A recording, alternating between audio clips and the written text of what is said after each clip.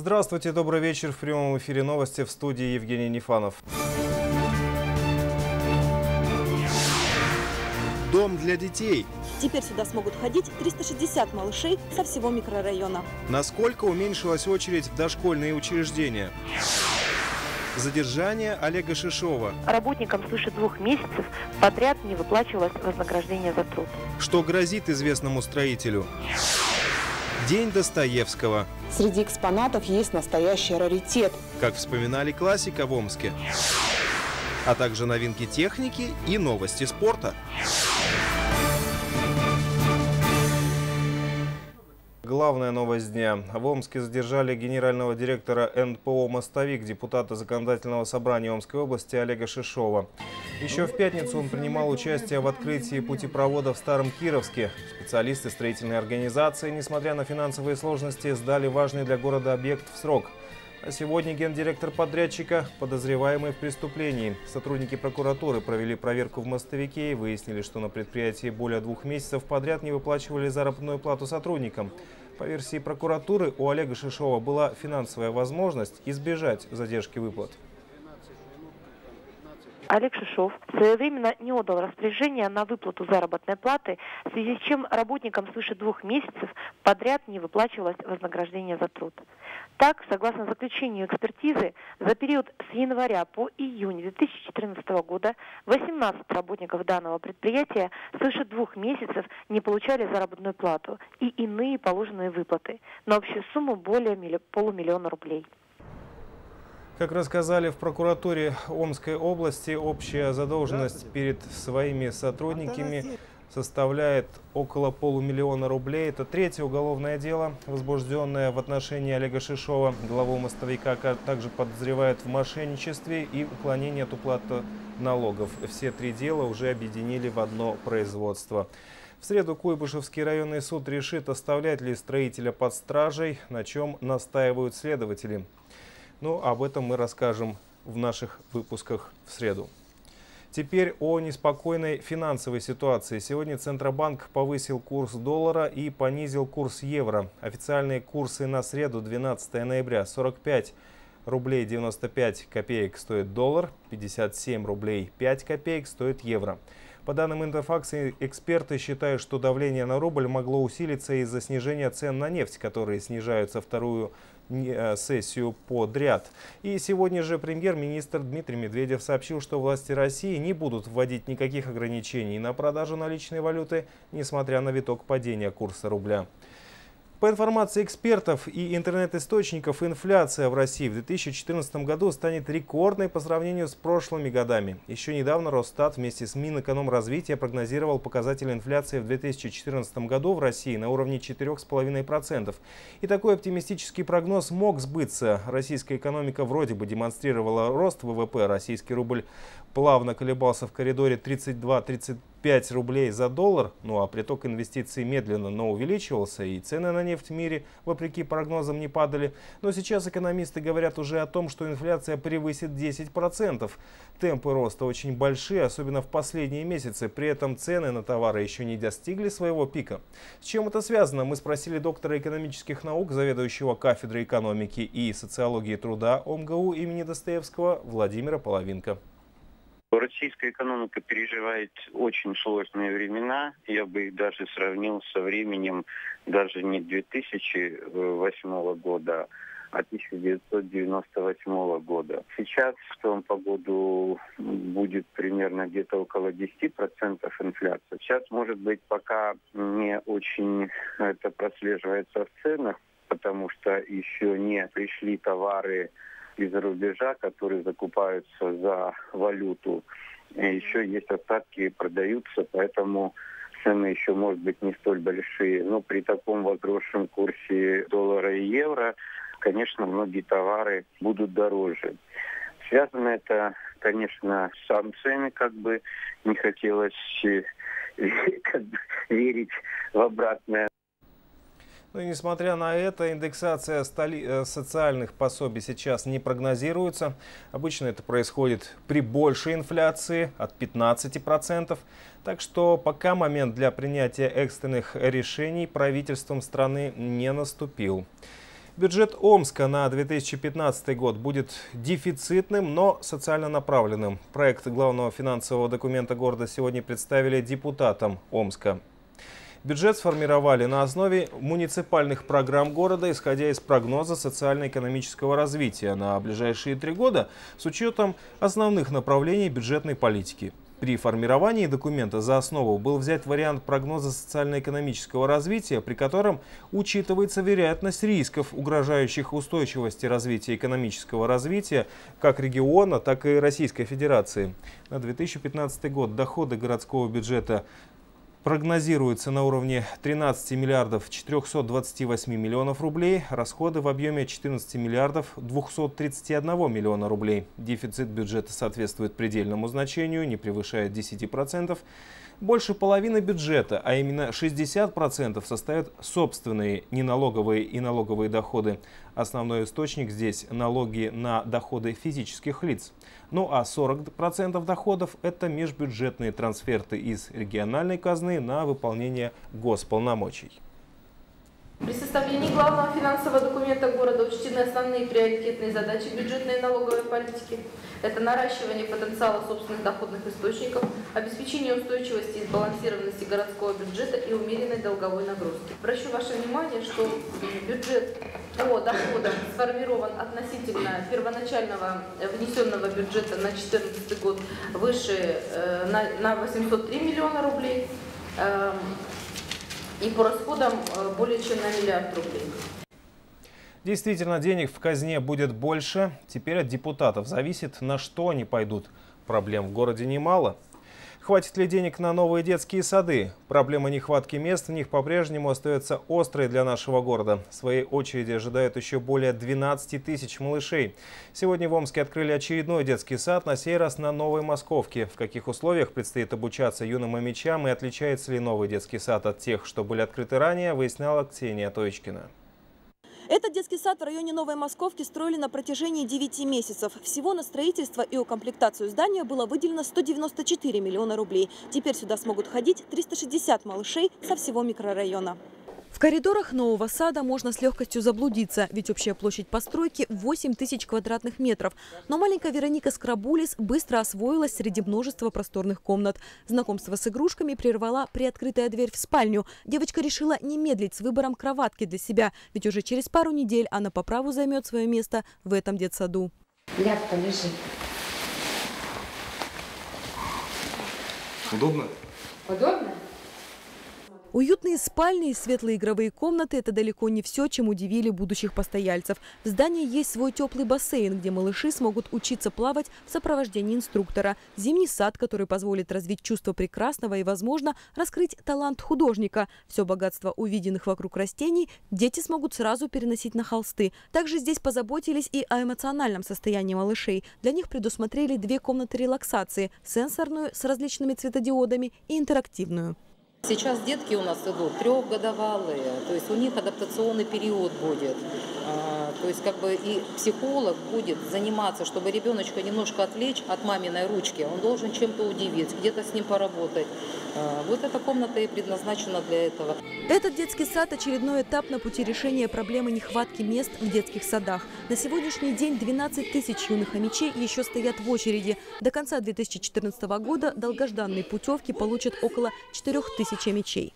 Над этой э, задачей работаем. Финансирование э, выделяется. На будущий год тоже прорабатывается дополнительное выделение из федеральных средств, из областного бюджета, и софинансирование муниципального образования. Поэтому я думаю, что все, что перед нами поставил президент, мы однозначно постараемся выполнить. Новый детский сад вскоре также откроется в Амурском поселке по улице Багратиона. Перепрофилируют бывшие детские дома на Фугенфирова и Комкова, а также бывший дом творчества на Дианова. Вскоре собираются приобрести еще два здания под детские сады на 600 мест. Ксения Тоечкина, Сергей Гаврилов, Антенна 7.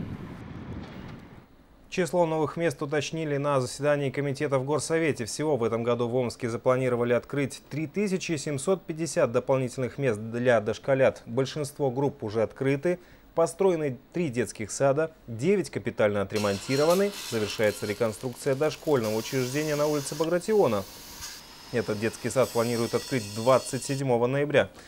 В 2015 году должно появиться еще 5130 новых мест для детей от 3 до 7 лет. Уже известно, что еще один детский сад заработает в микрорайоне Амурский.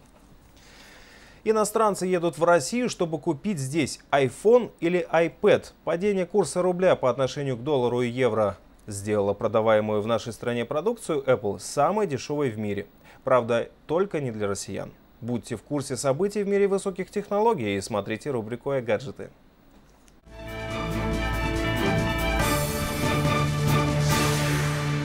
Привет, это iGadgets. В Нидерландах появилась первая в мире велосипедная дорожка из солнечных панелей. В перспективе дороги будут производить энергию для домов, электромобилей, уличных фонарей и светофоров. Маршруты будут составлены таким образом, чтобы эффективно обслуживать местные потребности в электричестве. GoPro камеры начали свою историю как наручные крепления для 35-миллиметровых камер и с тех пор прошли долгий путь. Сегодня мы можем посмотреть на следующую ступень в истории GoPro Hero. GoPro 4 имеет 12-мегапиксельный сенсор и умеет снимать видео в честном 4К разрешении с частотой 30 кадров в секунду, а также 2,7К с частотой 50 кадров в секунду и Full HD с частотой 120 кадров в секунду. Несмотря на то, что цена у топовой модели увеличилась, на данный момент она самая доступная 4К камера на рынке. Но это далеко не все инновации. Камера получила режим Immersive Mode, значительно увеличивающий угол охвата, а новый режим ProTune является аналогом формата RAW для фото. С его помощью можно вытянуть максимум на этапе обработки материала. Как известно, качество записи звука у предыдущих моделей оставляло желать лучшего. У новинки же установлен аналого-цифровой преобразователь аудио и новый микрофон с вдвое расширенным динамическим диапазоном, что обещает невероятное качество записи. Следите за нами и в интернете на antena7.ru и ВКонтакте. iGadgets. До встречи!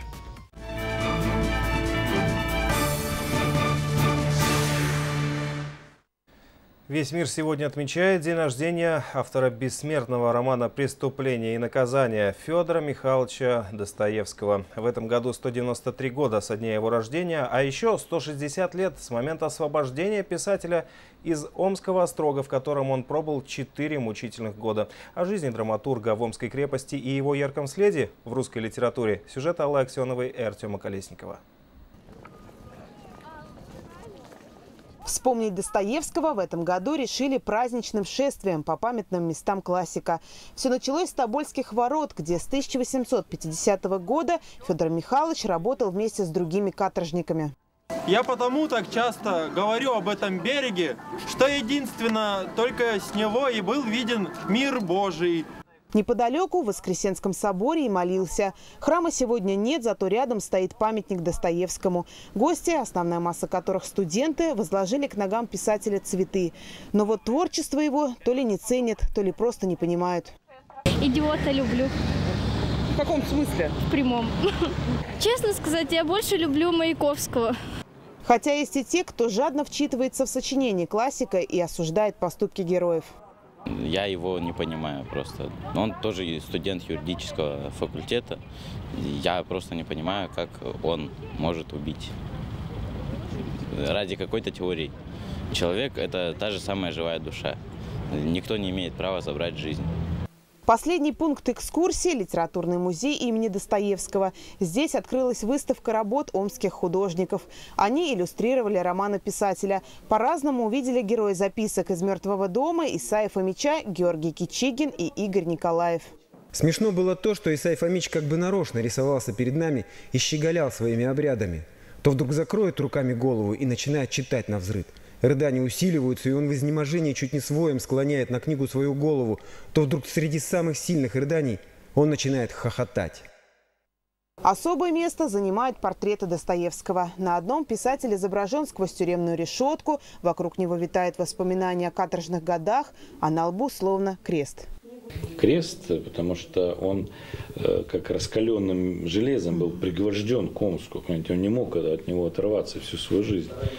После окончания каторги Достоевский сообщал брату «Теперь буду писать романы и драмы». Зрелые произведения он действительно создал после ссылки. Среди экспонатов есть настоящий раритет. Первое и единственное прижизненное издание романа «Бесы». После выхода книгу долгое время клеймили, а сегодня ее называют «роман предупреждения», потому что история продолжает давать примеры революционного бесовства. Книгу «Литературный музей» приобрел недавно у столичного коллекционера. Редкое издание удалось купить в пять раз дешевле, чем на аукционе. Но цена не главная, когда речь идет о наследии великого писателя. Вы не Достоевский. Ну, почем знать, почем знать. Достоевский умер. Как? Протестую, Достоевский бессмертен. Алла Аксенова, Артем Колесников, Антенна 7.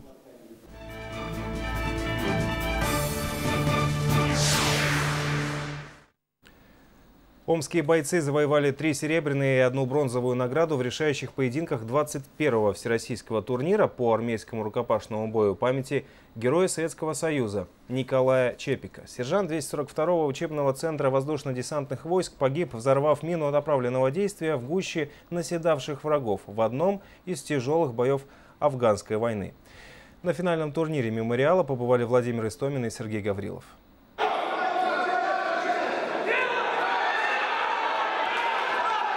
Совсем немного не дотянул до золотой медали омский боец Антон Кулага. Двух сложных по исполнению бросков с зацепом изнутри и хорошей работой коленями в клинче оказалось недостаточно для победы в поединке со спортсменом из команды Южного военного округа. Соперник чаще действовал ударными сериями, наш боец уступил по судейским запискам. В финальном бою у меня получилось как бы все, работал свою технику. Маленечко не хватило выносливости, надо работать над физической подготовкой больше. Темпа не хватило и двум другим омским финалистам. Многократный победитель турнира, тяжеловес Александр Румянцев, он в синем шлеме, в равном поединке по баллам проиграл бойцу из Ульяновска Денису Кокшарову. А молодой омский боец Дайна Джабаров на хорошей ударной технике, дошедший до финала, слишком перестраховался в поединке с опытным спортсменом из Санкт-Петербурга Федором Дурымановым. Пропустил пару борцовских приемов.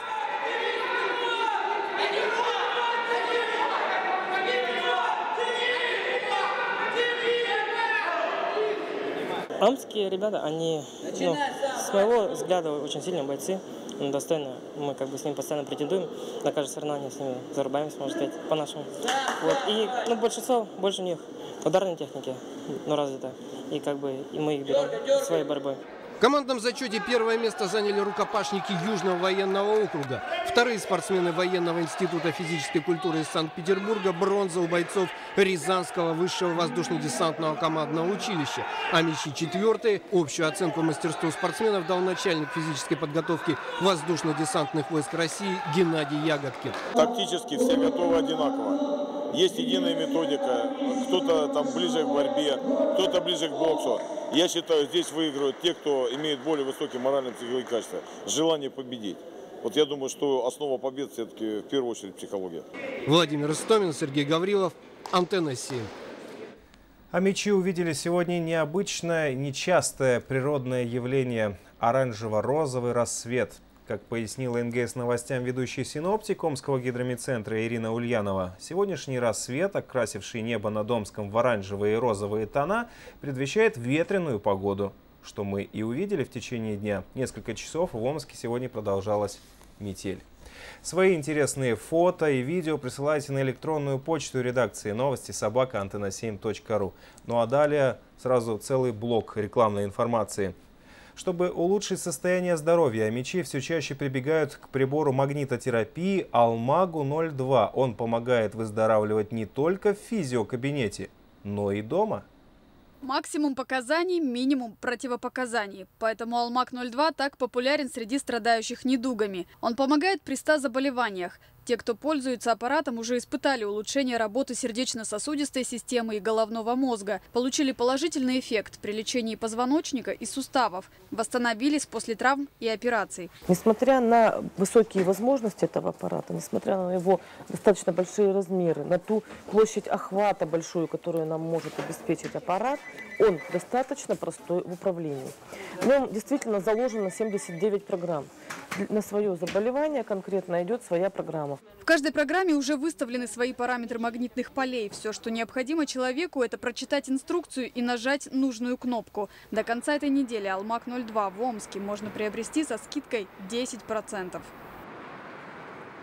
Омские сладкоежки уже хорошо знакомы со Светланой Люсиной. Несколько раз в год она привозит в наш город на ярмарку мед и другие пчелопродукты. Всегда готова подробно рассказать покупателям о целебных свойствах каждого из них. Сейчас с приходом холодов советуют выбрать угощение с добавлением прополиса, кедровой живицы или перги. Перга является ценнейшим иммуномодулятором. То есть достаточно чайной ложки в день, чтобы укрепить свой иммунитет на полгода. То есть чтобы не болеть ни осенью, ни зимой, достаточно месяц пропить э, курсом пергу. Ярмарка меда и пчелопродуктов из разных регионов России.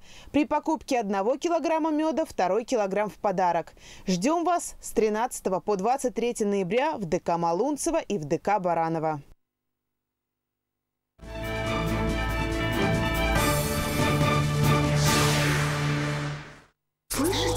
Слышите? Слышите? А вы слышали? Пришло время поверить в чудеса. Новогоднее волшебство в Каскаде. Совершайте покупки от 1000 рублей и выиграйте новогодние круизы по морям и океанам. Подробности в Каскаде. 24 ноября. Александр Розенбаум. Только любимые песни. 59 26 25. Вы готовы к тому, что ваш доход будет пожирать инфляция? Ее ведь не покроет ни один банковский процент. Вам страшно открывать что-то новое? Но ведь терять старое еще страшнее. Кстати, как насчет трейдинга? Инвестиций. Вы видели сегодняшние котировки? Ведь мастерство управления деньгами приходит не сразу. Но дайте себе шанс.